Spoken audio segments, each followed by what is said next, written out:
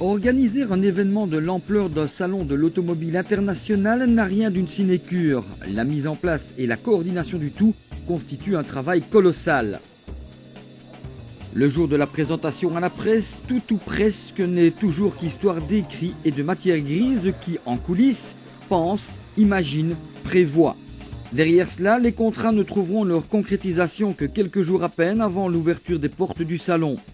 À ce moment, les choses se précipitent et cette organisation pharaonique prend vie. Des centaines de personnes composent une fourmilière qui, en un court laps de temps, met tout en place afin que le jour J, tout soit impeccable. Tant en argent qu'en temps, l'investissement est important, mais dix jours durant, sans compter les journées de presse, ce sont des centaines d'exposants qui vont exhiber et promotionner leurs produits et leur savoir. Que la fête commence